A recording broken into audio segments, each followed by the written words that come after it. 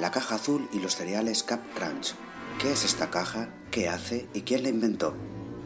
Esta historia empieza con un grupo de pics telefónicos invidentes, estudiosos que experimentaban con líneas telefónicas y que a veces utilizaban sus conocimientos para realizar llamadas gratuitas. Estos seguían y escuchaban una radio pirata creada por John Thomas Draper, un informático con un alto nivel de conocimiento sobre diseño electrónico, el cual transmitió un número de teléfono a los oyentes para que pudiesen llamar y dejar sugerencias sobre la estación de radio que había creado. Ese teléfono sonó una mañana y al otro lado estaba Denny Teresi, uno de los pricks que hemos mencionado antes, pero no se ponía en contacto por la estación de radio, sino para invitar a Draper a una reunión con su grupo ya que estaban interesados en sus conocimientos. Draper aceptó y se presentó a la reunión sin saber muy bien el objetivo de la misma. La reunión era en casa de Denny Teresi y allí se encontraban varios de los integrantes del grupo de Prix que le explicaron su idea de construir un generador de tonos multifrecuencia al que luego se le llamaría como caja azul.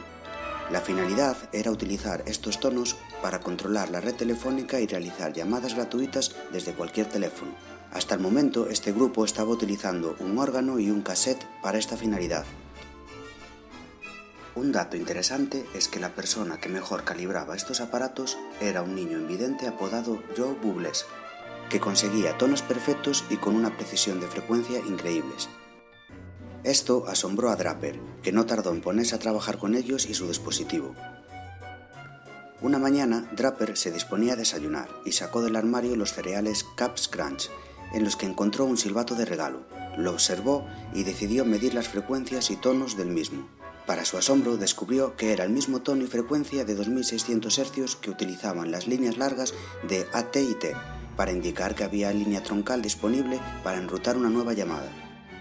Ya tenían todo lo que necesitaban para crear la caja azul, y no tardaron muchos días en crearla y empezar a recorrer cabinas telefónicas realizando llamadas gratuitas. Se divirtieron como niños, bueno, uno de ellos era un niño. Este y otros de sus trabajos convirtieron a John Draper en un famoso entre los hackers de la comunidad contracultural, motivo por el cual el periodista Ron Rosenbaum contactó con él para realizar una entrevista y un artículo sobre pricking. Aunque Draper fue reacio a la entrevista en un primer momento, al final aceptó y una de las respuestas que dio sobre el tema fue la siguiente. Lo hago por una razón y solo por una razón. Estoy aprendiendo sobre un sistema. La compañía telefónica es un sistema. Una computadora es un sistema, ¿entiendes? Si hago lo que hago es solo para explorar un sistema. La compañía telefónica no es más que una computadora. La controversia y notoriedad del artículo condujo a la policía a su casa y fue detenido en 1972 por fraude telefónico y sentenciado a cinco años de libertad condicional.